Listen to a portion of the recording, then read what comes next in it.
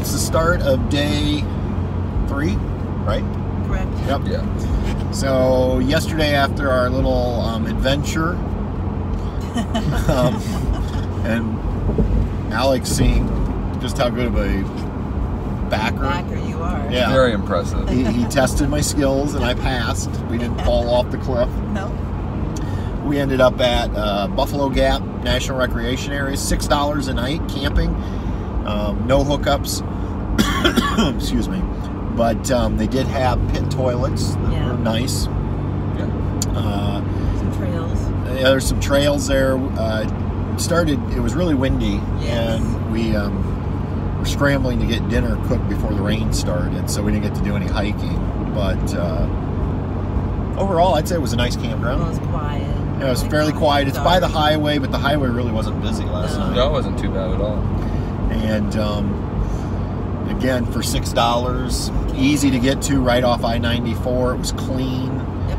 and uh, so if you don't need hookups, I believe the national park was fourteen dollars a night. And again, they don't have hookups. But the problem there was, I think it was about an 11 mile drive north Right. to get to it. We wanted to stay close to the highway, so Right. uh, we cooked some dinner. New grill worked out. Yeah. Hamburgers and hot dogs were very good. Yeah, so just a simple meal. yeah. So Simple but a good one. simple but a good one. So so today we are headed to St. Mary, Montana, which is uh, right outside of Glacier National Park. Uh, we have a KOA reserved for two nights. Uh, you know, a lot of you know I don't like doing commercial campgrounds, but the national park is full and there's honestly just not much there and we didn't want to risk getting there late this afternoon with no place to stay so we're just going to stay there we're going to need to dump the tanks anyway Yeah, do a little laundry, get caught up. so Yeah. anyway hopefully we will be there at a decent time and, and when i say decent time we're shooting for maybe six o'clock tonight so I just want daylight. daylight's always a good thing all right we're going to just try to knock out some miles here and we'll check back in with you in a little while truman's getting a little loving from alex.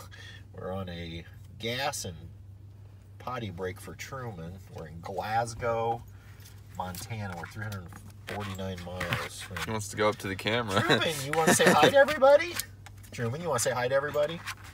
Hey you're making it hard for me to keep you in the lens. All right. So, 349 miles till we get to our stop. I bet you're excited, aren't you, Truman?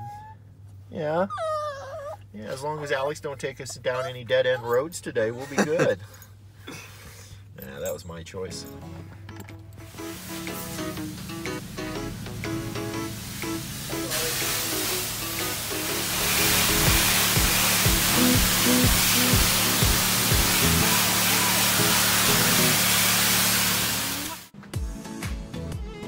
Morning, everybody. Happy Father's Day. It is Sunday, and we arrived yesterday here at uh, St. Mary's, Montana, at the KOA East Glacier.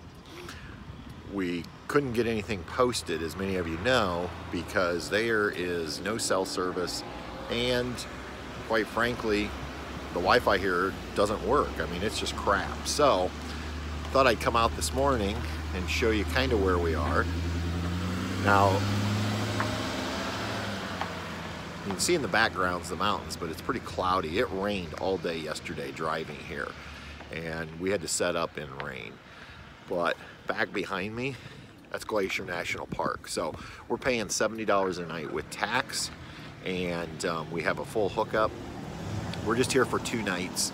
Uh, I'm going to make some breakfast here in a little bit, and then I'm going to take Alex up to the border, and hopefully he's going to get across with no issues. I'm going to slowly spin around just so you can get a little bit of a panoramic view of the campground.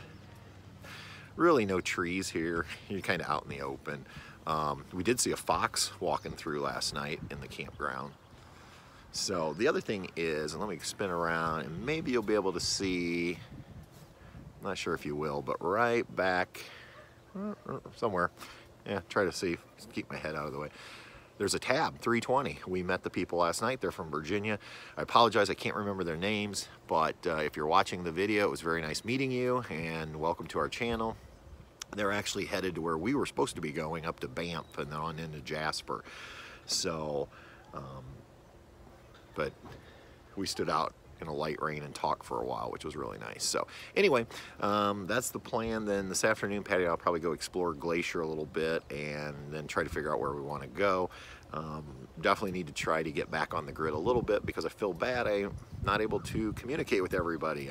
So I'm sure some of you are wondering on Facebook and uh, Instagram, where the heck are the McCormicks? Uh, as far as Truman, Truman is doing awesome. I tell you, that little guy, he he lets us know when he has to go, which isn't always easy because we were on a two-lane Montana uh, highway yesterday for, um, I don't know, probably six hours, and there was just no place to pull off. So he starts uh, getting a little um, wiggly, and he starts crying, and that means, Dad, pull over, I got to go potty. But otherwise, he's doing great, and um, so couldn't ask for better. All right, I'm gonna sign off because I need to go in, make breakfast for us, and then we're gonna head up to the border. So we'll bring you along. Making some breakfast, and one of the things I like to use are these little boxed hash brown potatoes. You just add um, hot water to them, let them sit for, I don't know, 15 minutes, and then you can throw them on the grill and have crispy hash browns. We're also going to use some of these heat and serve sausages and fry up some eggs. Make sure we give Alex a good breakfast before we send him across the board. So how's breakfast, guys? Yummy. Really good. Very good. Good? Mm-hmm. And not a bad view either. No. Not at all. I think you guys might have a better view. Yeah. Starting to clear out. A little cloudy.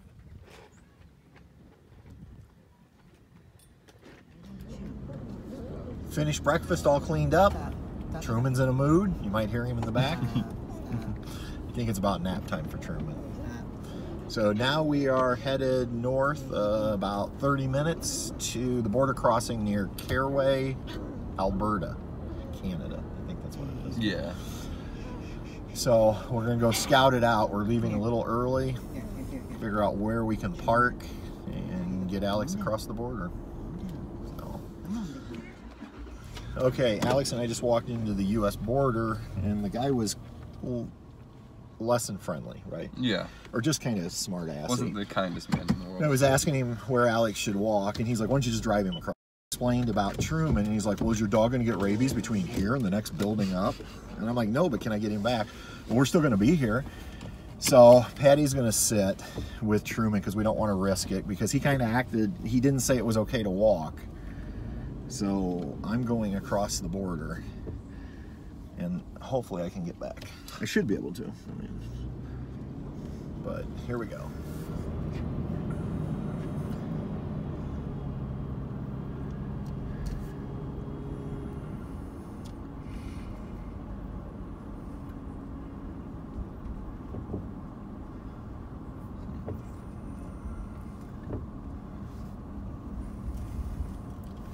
You'll need to stop that here in just a second. I know they, Oh, okay. yeah, it's supposed to record. You want to stop that? Just pull it in. Okay, we answered a few questions and we are across. No issues. And he acted like it was silly that we canceled all of our plans. He claims we could have came back, but we'll see. So, all right, bud, we made it. Well, I made it to Canada. Now I'm leaving Canada. That was a quickie. Wish me luck getting across the border. All right, that was a smooth border crossing. I'm picking up Patty and Truman. They're getting in the car. Oops, get out of the way here. And actually coming back was real easy. He just asked why I was in Canada. I explained I dropped Alex off. He asked me if I bought anything while I was visiting. And I said no, and he said, all right, have a good day. So, all right, so Alex is with Ruby, and I must say, Ruby is a very nice young lady. Yeah. I got to meet her. Awesome. I wish we could have spent time with her. I invited her to the United States if she ever wants to come. so, Told her I was really bummed that I wasn't going to get to try some real Canadian poutine and beaver tails. Yeah. So what did she say to that? she laughed. She said Banff is a typical Canadian tourist area. We would have got to try all the All that stuff. all that stuff. So, so Alex is now in Canada for the week, and um, I'm gonna kind of miss the guy. A little bit. No, yeah. I am gonna miss You the guy. Not kind of. I know you get used to having him, and Yeah. so now I guess we're gonna drive back down to Glacier and go to the National Park Visitor Center and figure out what we're doing. All right. So, all right, about 20 minutes back.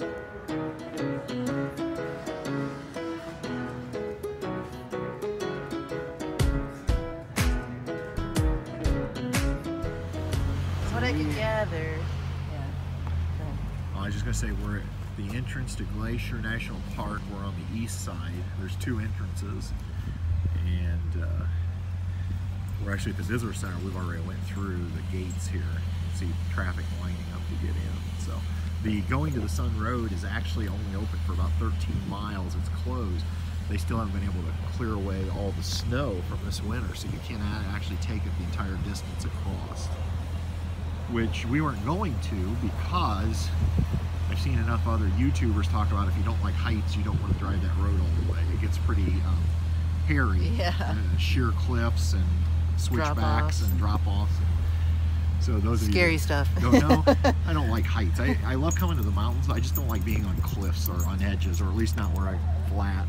So, all right, but we are going to go drive some of it around the lake. Yep. So let's take a drive.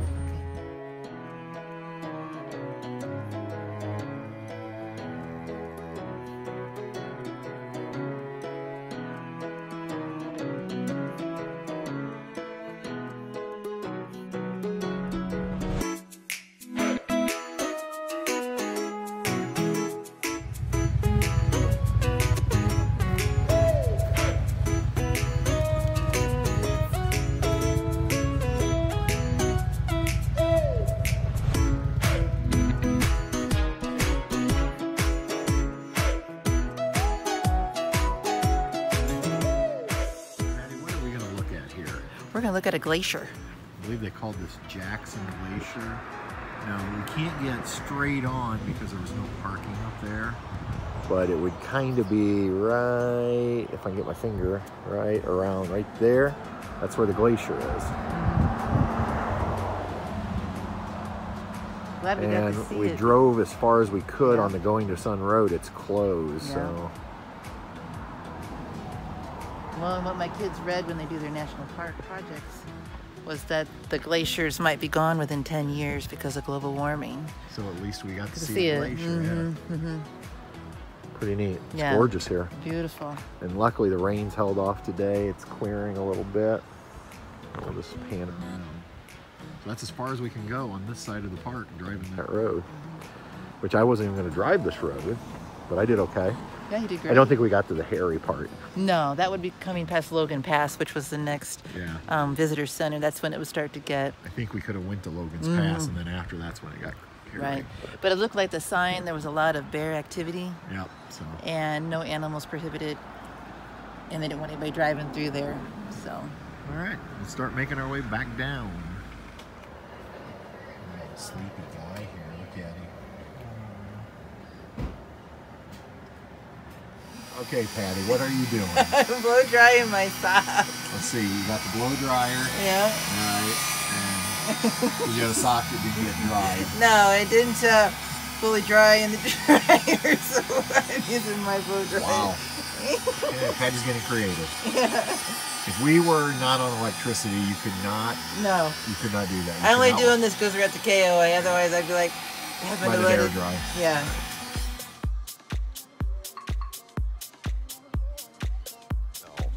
We made it all of maybe 30 miles. I Uh-huh. don't know, or at least not very far. But that's okay. We're just taking our time. Decided to have some lunch, and who knows where we'll pop up. I don't think we're gonna get very far today, but we're having a nice day, right? And there's Mm-hmm. Very nice out. And Truman was eating a little food. Truman's having a little food. Right here. There he is. Say hi. Can say hi, buddy? All right, let's eat.